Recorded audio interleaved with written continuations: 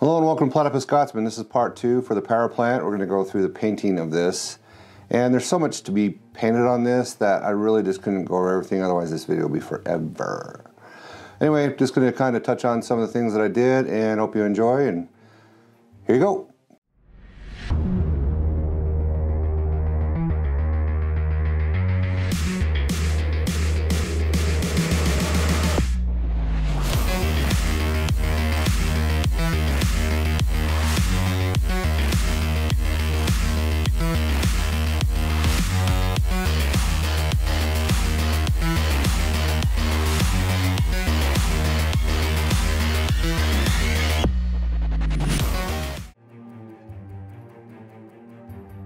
So what I'm going to do, because this is so much to paint, uh, I'm probably not going to have a lot of uh, talking going on because there's just so much of it that the video would be forever. So I'm just going to go through and do some base coats for now. This, you know, this is like Khorne Red, uh, Lothern blue. And this will be my base for my yellow, which is Amaryllis Sunset, and then I'll do Lead Belcher. My base for my white is going to be like a mudstone, and then uh, I'll do different things like that. And I'm just going to go through and pick colors and then start just painting different things and go from there. So that's what I'm going to be doing.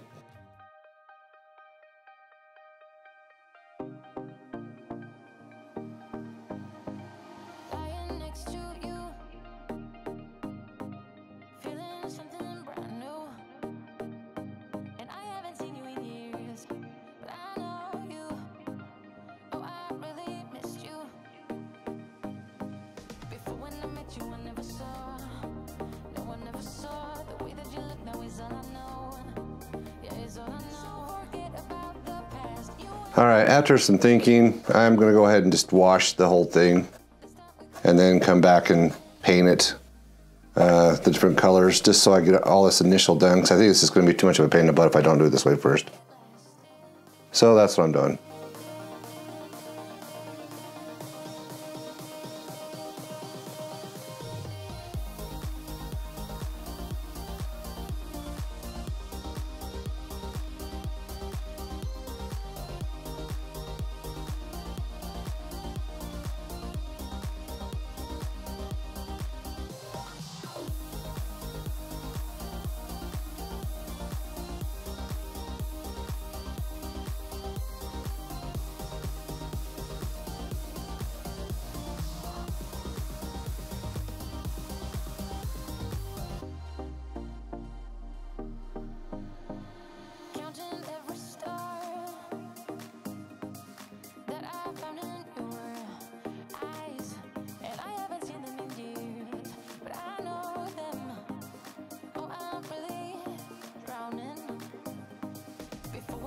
you I never saw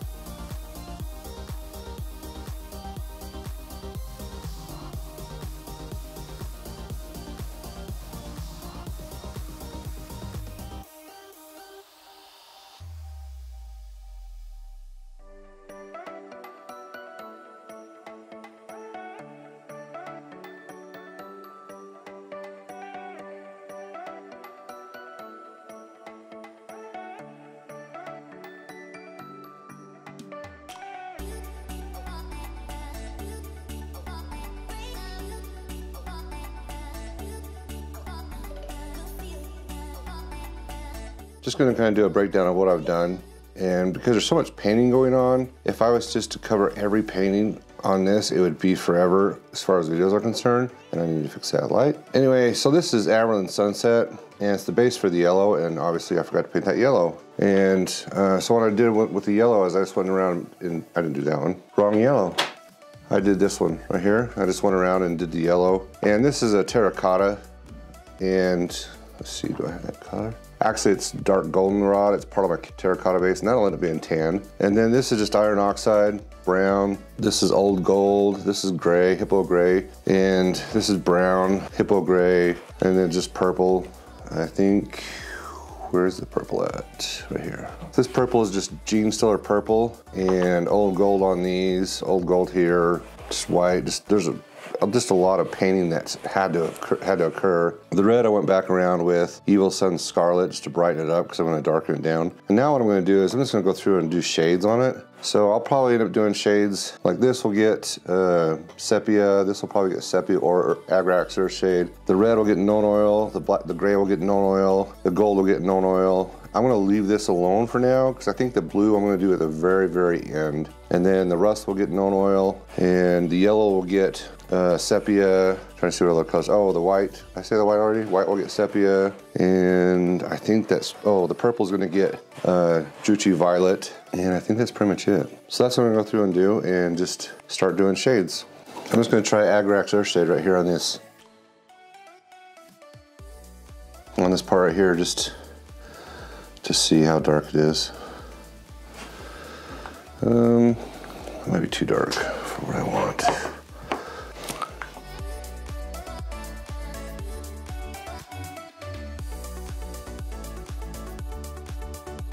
Think sepia is probably gonna be the route to go.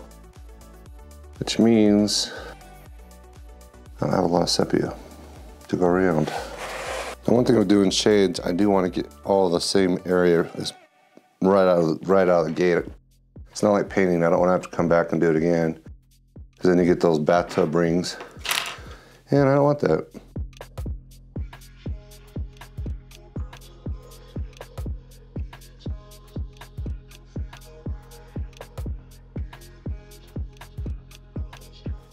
The one nice thing is because this is so dingy and gross and things like that.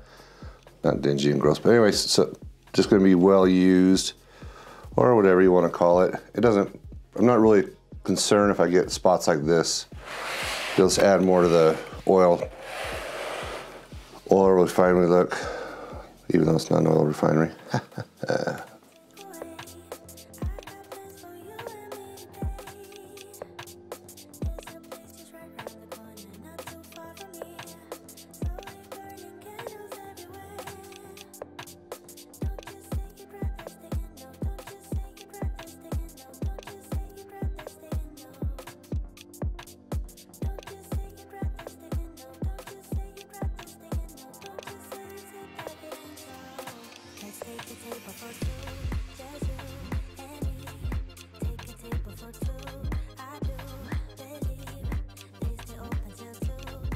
This is Druchii Violet. Just gonna go around now hit things with Druchii Violet.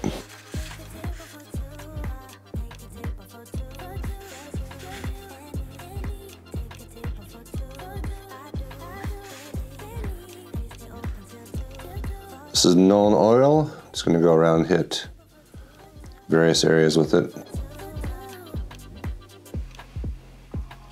Mostly the reds and the grays. I might hit other areas just to darken them up if I want. Oh, and the gold.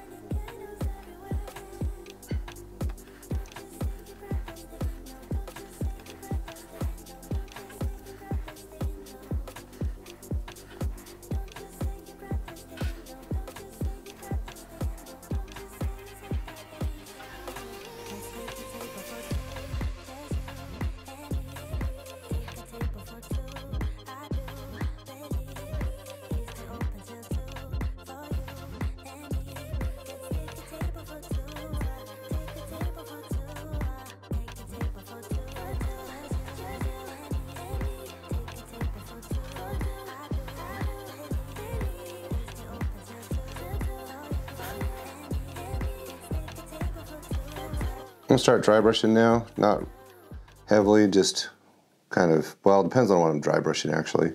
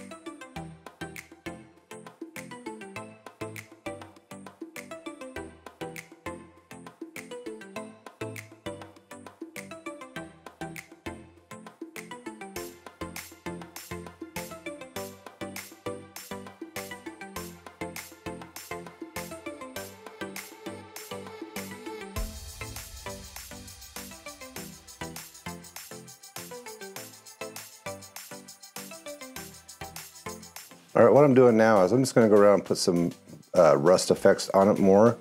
Just a little bit now that I've got all the shading done and all the, most of the highlighting. I'm just gonna go around and do some rust effects. Just use just tore off a sponge that goes in a blister box and kind of just dab some rust here and there, especially around where I already have rust. I want it to kind of bleed off a little bit more. I don't want it to have a distinct crisp line. And this is iron oxide, brown iron oxide.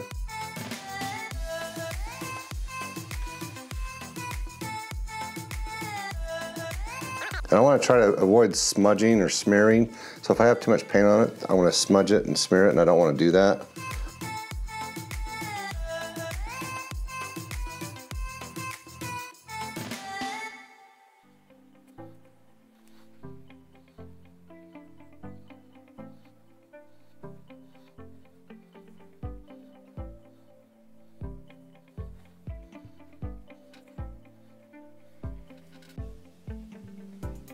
Okay, what I'm gonna do now is I'm just gonna go around with sepia and Nuln-Oil and just darken things up, put grime and things like that on there. Just to give it a more weathered look, I'm gonna go all over and I'll do it on multiple colors. I'm not gonna be too discriminatory on it.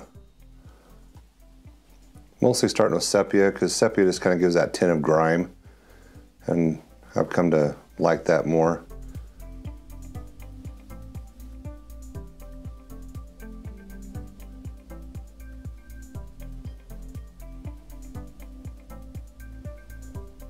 And also where there's some rust like this, I'm just gonna go a little bit further since there's spots. I'm gonna just go through, especially on the white, and dinge it up to where it looks more cohesive. Sorry, I have my window open. It's spring and I wanna enjoy the weather.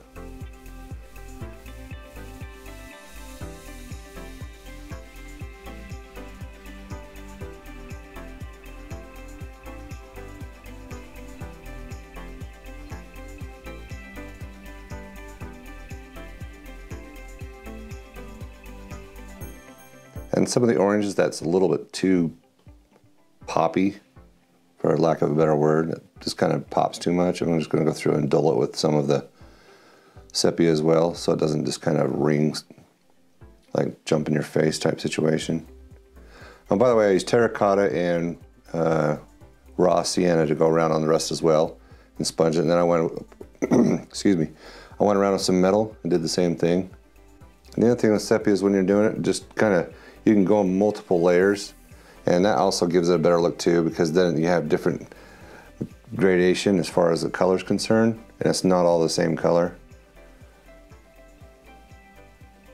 You kind of get the idea. I'm going to go around through this. Since there's so much of it, I'm not going to video it all just because there's so much. And I would be bored if I was watching it. This is contrast paint, Aerothematic Blue. I think that's how to say it. And I'm just applying a, well, I'm just applying to this blue right here, just to see how it is, and just go from there, see what kind of hue it gives. But I do plan on going back and uh, painting more of it. Oops. That's the only problem with this is it kind of runs down, and but there's probably going to be so much blue uh, dry brushing for glow and different things like that that it's not going to be that big of a deal.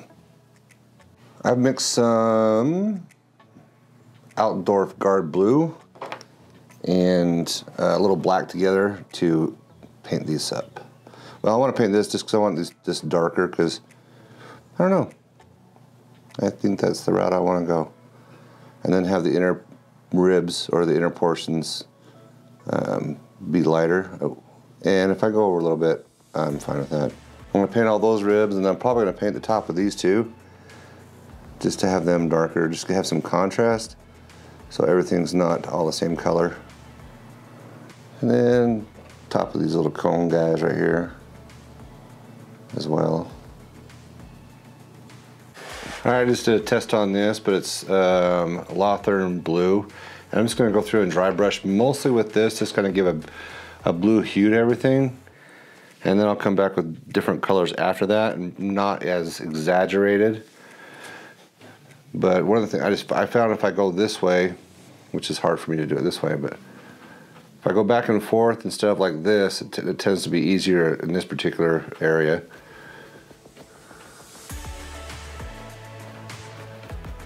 I did this way before, at first, and now I'm going the other way, but I want to get more down here too, because I want the the blue glow to be a little bit more prominent down here. And I want to make sure everything was painted before I did the blue uh, dry brushing, just because I want the rust and everything else to have that blue hue on it.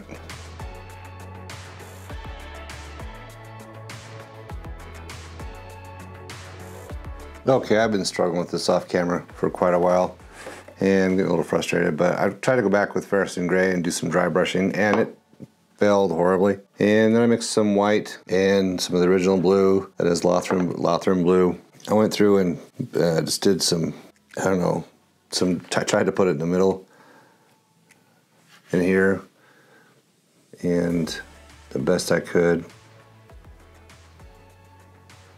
For one, it's a hard hard to paint the angle. I could have done an airbrush, but I'm trying to stick true to showing it on how I do it with a paintbrush or a Canvy, not a paintbrush. But man, this is, I don't know, what I thought would happen in my head didn't happen in, on here. So I've done this, I go through and do this, then I put the white in there. And then I got some uh, Army Painter Quick Shade Tone Blue and I glazed over top of it. And then I did some Nuln Oil in the middle just to darken those ribs up which I think I'm going to do it again, but I'm to, I'm going to use blue this time because I just want to darken them up. And I don't want to go all the way down with this mixture of white and blue, all the, oops, all the way down to the bottom. I just kind of want to feather it out to where it almost goes all the way so it kind of gives a more gradient look. But still, this is just, just did not turn, I could what I thought in my head didn't pan out. And I've done stuff like this before, but I don't know. It just didn't just didn't work. Maybe I'm too rusty on doing this aspect of it. Plus, part of it is too is these things are a pain where they're located, but that's not really a true excuse. The other problem too is I don't have a blue like this, so that made it more, a little bit more difficult. Not having the right kind of blue, so I have to mix it, then I have to add water to it so it doesn't go away. So I'm not using a wet palette. I probably should be using a wet palette, but I'm not.